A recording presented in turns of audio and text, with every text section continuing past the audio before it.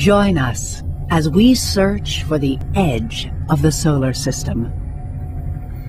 Follow IBEX, the interstellar boundary explorer, on its mission to map the farthest reaches of the solar system. See our sun as never before as it journeys through the Milky Way galaxy.